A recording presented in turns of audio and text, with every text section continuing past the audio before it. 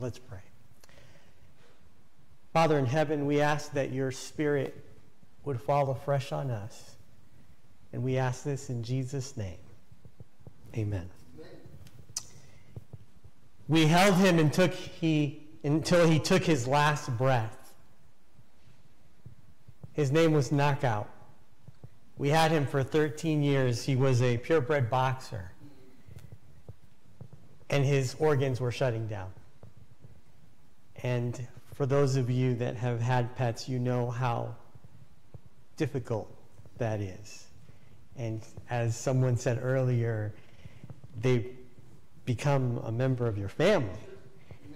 And you miss them. And it just so happened that we had planned a trip and he passed away. We, we put him down the day before we left on this trip. And so here we are the next day, we're flying out, we're thinking about him, and also thinking, you know, this could be a good distraction to help us get through. And so we landed in Reykjavik, Iceland, the following day, and I uh, have some pictures that I'd like to share with you. Uh, let's see if we can move along. This is the city. It's near the ocean, and uh, they eat a lot of seafood, um, and we don't. So we, we bought our food from the local market and we cooked our own food. Um, but Iceland is a very unique place, and some of you have visited very interesting places. Um, Iceland has volcanoes and lots of uh, mountains and geysers and waterfalls. In fact, we, we counted on a five mile stretch 60 waterfalls as we were heading uh, to a beach one day. And I'll share a little bit more about that beach later on. But the one thing that stood out, the one thing that I'll never forget, is one night we were driving back from a national park, and it was late and uh, we saw some lights over us. And, and then we, we decided we're going to pull over because this is the moment where the northern lights just exploded over our heads. Now, we had seen them a couple days earlier, uh, glimpses of purple and green and turquoise, but nothing like this. This was mesmerizing, and the color was orange. And we just sat there looking, and, and as the lights danced from left to right, and uh, it was quite a scene. And then, of course, other colors joined in. And uh, I just will never forget that moment. And I, I turned to my wife, and we just looked at each other like, this was a gift from God to be able to see something so spectacular. And it also got us thinking about the end times. What is it going to be like when Jesus comes and he just explodes and he's, he's and it's bright and it's trumpets and it's angels and it's can you just imagine what that's going to be like and and how how you're going to get some goosebumps and, and you're going to get excited if we should have the privilege of seeing that day. It, it's going to be amazing. Uh, and we've already seen and experienced some amazing signs. And today I wanted to focus on the signs. Uh, there's actually something that I've been studying, and it has to do with the signs and the parable. Now, oftentimes when we look at parables, we we don't often think about them as having a, a secret or a key to helping us understand other parts uh, of the signs in Matthew chapter 24. But in this particular parable, we're going to look at these two and, uh, and see that there's some fascinating, encouraging, and sobering things that God wants us to consider. So let's go to Matthew chapter 24. If you have your Bibles, please turn to Matthew 24. And we'll start reading verses uh, 1 and on. And if you don't have your Bibles, uh, we have it on the screen as well. And so here we are reading from the New King James Version. Then Jesus went out and departed from the temple, and disciples came up to him, showing him the building of the temple. And he said to them, Do you not see all these things? Assuredly, I say to you, not one stone shall be left here upon another that shall not be thrown down. Now, this was an incredible statement. In fact, if you were a disciple, there is no doubt that your eyes would have gotten this big and your blood pressure might have gone up. And you would have thought to yourself, how is that possible? What Jesus is saying, because the temple was a magnificent structure.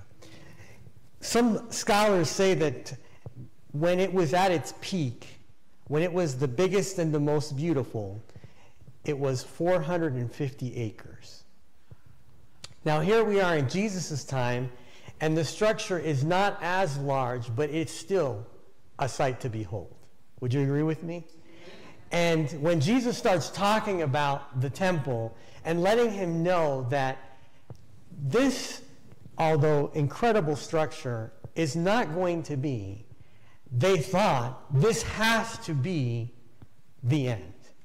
This has to be it because what else, what other event could take down such an incredible place? And so uh, they asked him afterwards. Now, as he sat on the Mount of Olives, the disciples came to him privately, saying, Tell us, when will these things be? And what will be the sign of your coming and of the end of the age? And Jesus answered and said to them, Take heed that no one deceives you. And then he goes on to list many different signs, and I'm just going to share 12 with you. But this is just a condensed list. Jesus went on and on in the whole chapter. And he's starting to answer the question by telling them there's going to be false Christ, and there's going to be wars, and nations against nations, and famines, and pestilence, and earthquakes. We just had a terrible earthquake last night in Morocco. 800 people lost their lives and counting. Uh, Doug talked about hurricane. We've got a hurricane that's formed, Hurricane Lee, and it's a category five, and now it's losing it, its strength, but it might gain its strength down the road. And, and you know, there's only been so many category five hurricanes. There's been, uh, there's been 40 uh, total uh, since 1924. However, 20% uh, of the hurricanes that uh, have been category five, we have seen in the last 10 years.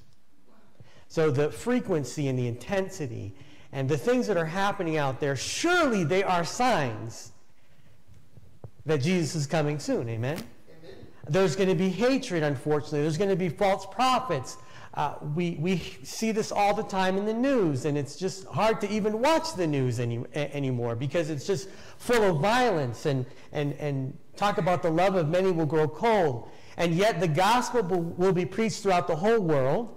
There's still the, well, there's the abomination of desolation. The sun will be darkened, the moon will not give its light, the stars will fall, and that has happened. Could happen again. And so you see all these things taking place. They took place in the past, they're taking place now, and it just points to Jesus coming back. There are signs, there are things happening, and we are left uh, to consider and uh, watch and pray. And Jesus went on to talk about all the things that we should look out for and the things that we should be doing. And yet, there's this parable at the end. And if you just read it very quickly, you might not think that there's a strong connection between the parable and the signs. But let's take a look at that parable to see this strong connection. Um, Jesus ends this discourse with the disciples regarding the three questions that they have by sharing this parable. In other words, he's he started to answer the question with the signs, and he continued in the middle of the chapter. But then here's the end, and I believe it is here where he's answering their question uh, in, a, in, a, in a very deep, uh, very interesting way. And so let's read the parable. Who then is the faithful and wise servant, whom the master has put in charge of the servants, his household, to give them their food at their proper time? It will be good for the servant whose master finds him doing so when he returns. Truly, I tell you, he will put him in charge of all his possessions. But suppose that servant is wicked and says to himself, My master is staying away a long time. Now, some versions say, My Lord. Now, note that. My master or my Lord is staying away a long time. And he then begins to beat his fellow servants and to eat and drink with the drunkards. The master of the servant will come on a day when he does not expect him, and at an hour he is not aware of. He will cut him to pieces and assign him a place with the hypocrites where there will be weeping and gnashing of teeth. Now, I want us to take a look at these two servants. There's the wise servant, and there's the evil or wicked servant. Now, there's an interesting Greek word here to describe the wise servant, and the Greek word is phronimos. It's a very interesting word, and uh, it means one who is wise, but also one who controls his or her diaphragm. Now, this caught me off guard because I was not expecting this.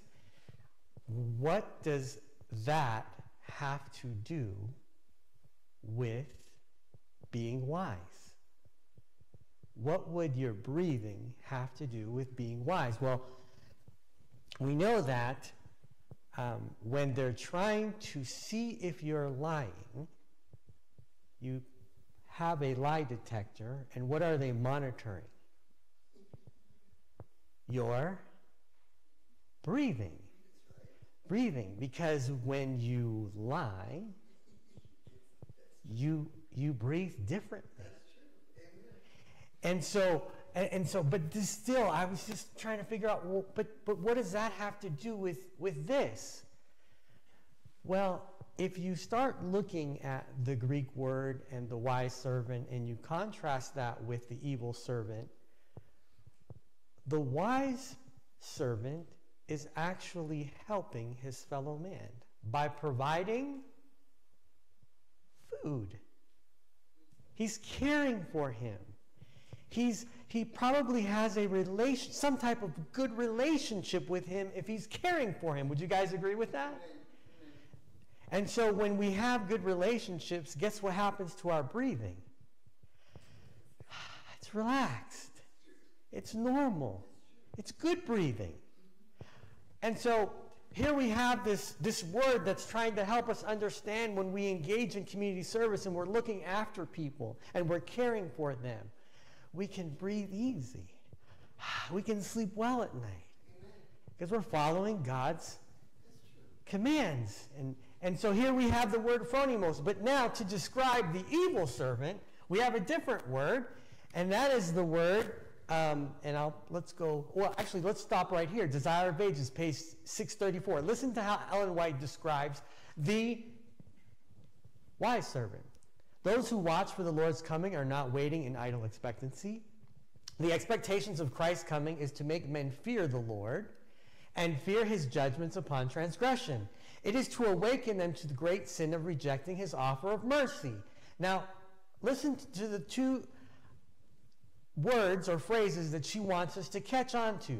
Those who are watching for the Lord are purifying their souls by obedience to the truth with vigilant watching, she uses the word watch or watching three times.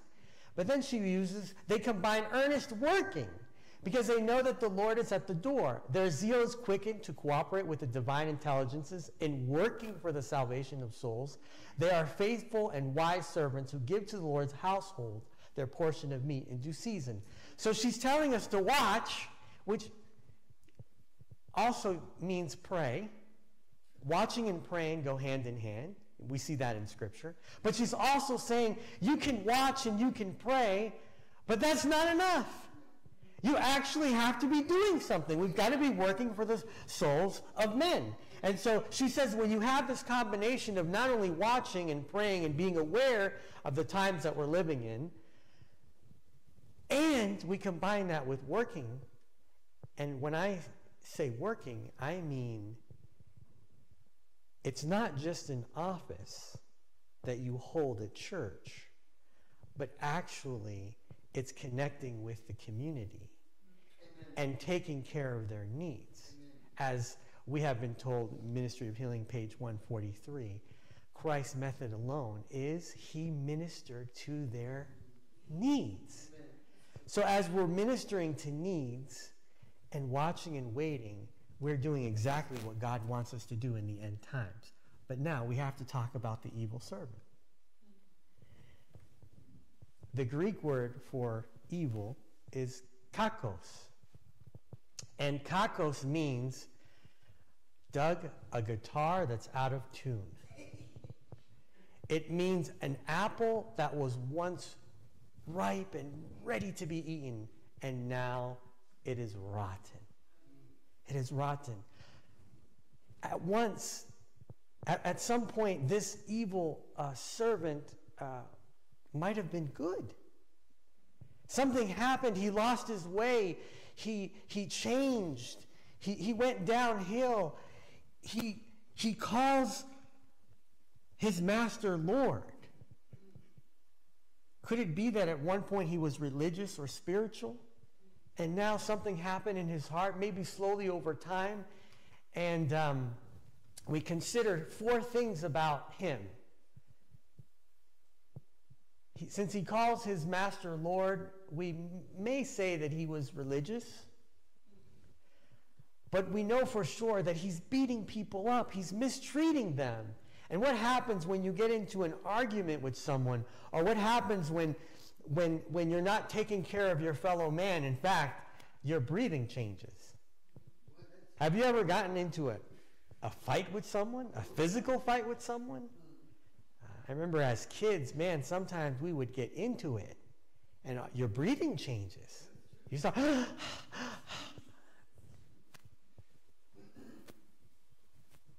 he's pleasure seeking, he's drinking, and that's all he's thinking about. And he's not expecting his master, in this case, he's not expecting Jesus to come back. So what does Jesus want to be want us to be doing in the last days? Now, this is a sobering paragraph from Desire of Ages in thinking about the evil servant.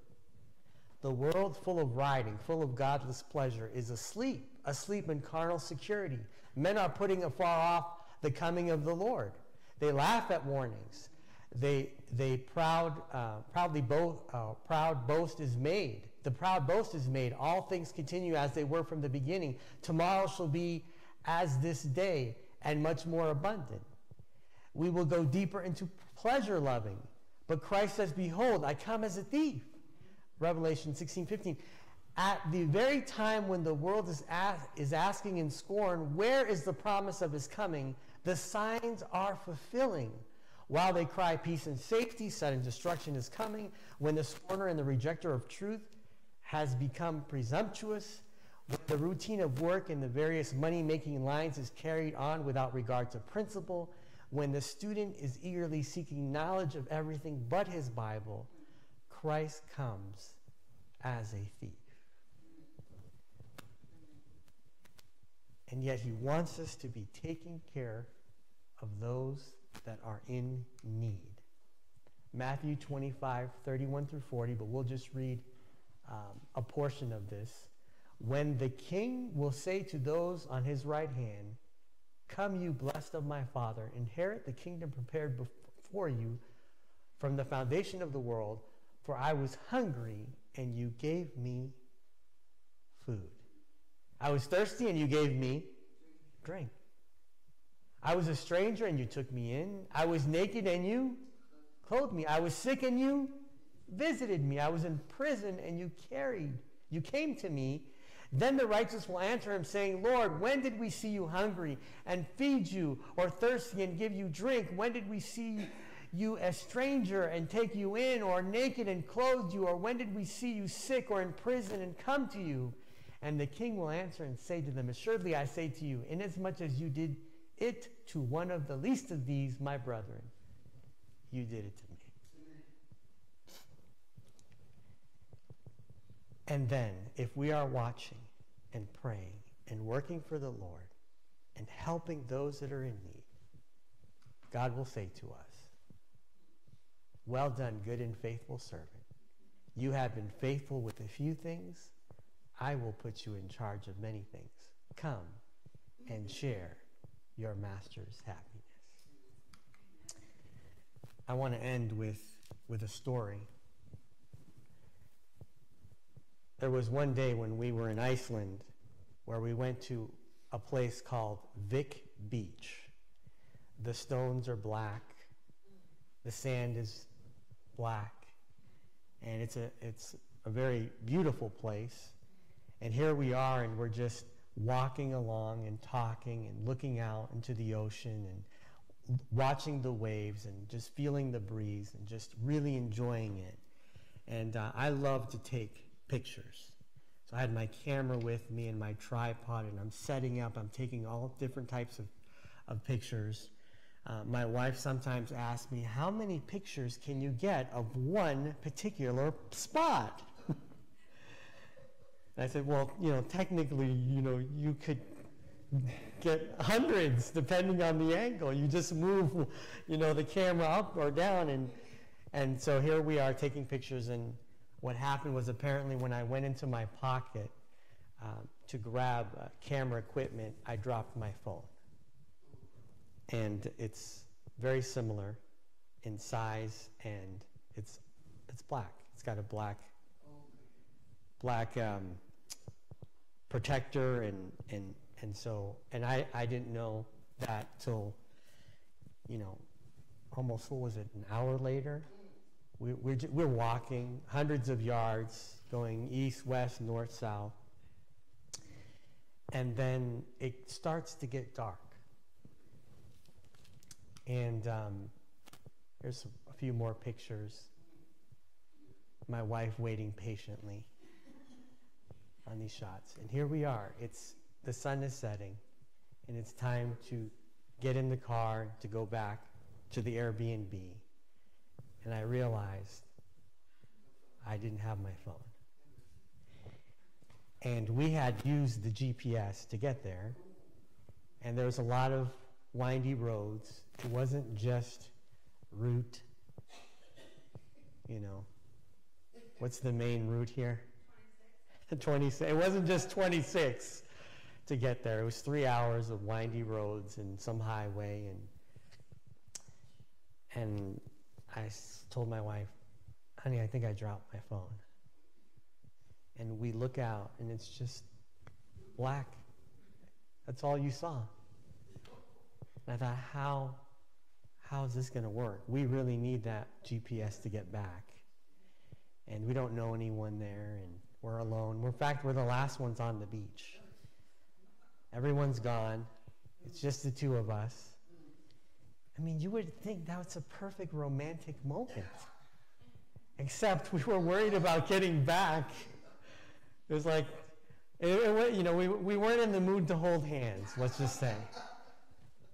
And so she says, Well, we, we need to retrace your steps. I said, Honey, we've been walking hundreds of yards in every direction. And, and I started to retrace what I thought were my steps. I went back and forth. I didn't see anything. Everything looked the same.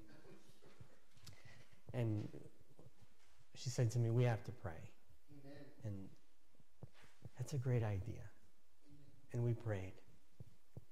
We prayed. And, and I said, Well, let's, let's divide and conquer. I'll take this part of the beach. You take that part of the beach. And by the way, this beach is just can go on forever. Thankfully, we hadn't walked miles, but we walked hundreds and hundreds of yards. And so she went to the left and I went to the right and I searched and I couldn't find anything. And I was just about to give up hope. And I heard my wife off into the distance. I couldn't hear what she was saying, but I heard her. Does that make sense? She was saying something. And I was like, well, that sounds kind of exciting over there. There's nothing happening over here. So I started walking towards her. She started walking towards me. And I finally saw her. She had the phone in her hand. And she had found the phone. Now, I don't know how she found the phone. I, this had to have been divine intervention. I've always seen it that way. I've always felt like it was, it was that. And we found the, the phone, or she found the phone, and we were able to put in our, our GPS, our, our, our address back to um, the, uh, the Airbnb, and, uh, and here we are. we might have still been back there. Uh, but one of the things that I thought of as I share this story with you is, is the searching part. The Bible tells us that there are many things to consider when it comes to searching. One obvious one is to search the scriptures because in them we find God. And it is so important for God to be speaking to us. In some cases, some scholars would say it's more important for him to speak to us than for us to speak to him. Some would even say that. And so I, I love that we get a chance to study the Bible a lot. And we're, a, for the most part, the Adventist Church is a studious bunch, aren't we? And it's great because it's God talking with us. So we have to search the scriptures. There are times when. Uh, when we talk about searching ourselves and uh, seeing is there something that I'm missing here? Am, am, I watching and praying and am I working for the Lord and the way that He wants me to work for Him? And then there are times when when we miss the mark, when we make mistakes, when we venture off places and paths that God would not want us to go down. And it is in those times when something exciting happens. When Adam and Eve sinned, God comes searching for them. Where are you? Things aren't the same. Something has changed in our relationship. And let's get it right. And so today I just wanted to share with you that God comes to our door and he knocks. And I pray that this week will open the door and that we will be watching and praying and working for Him and caring for those that are in need. And that's the connection. And that's what I believe God wants us to be doing when it comes to Matthew 24. It's knowing the signs and understanding the times that we're living in, and also working to help those that are in desperate need. And I believe if we do that, we're in God's will. And what a day it will be when He comes to take us home. Let's pray. Father in heaven, thank you for your words, Matthew 24 and 25. Thank you for the counsels that we have through Ellen White, Desire of Ages, that we would consider, Lord, the times that we're living in and that you would help us as we do our very best to walk with you and talk with you. We want to be faithful. We need your help. Give us your spirit this week. And I ask all this in Jesus' name. Father, as we leave here today, may your spirit go with us. Thank you that we can enjoy fellowship and that we could eat together and be encouraged. Bless everyone that came. Be with them and their families. Care for them this week, Lord. Help them to sense your presence. And I ask this in Jesus' name. Amen.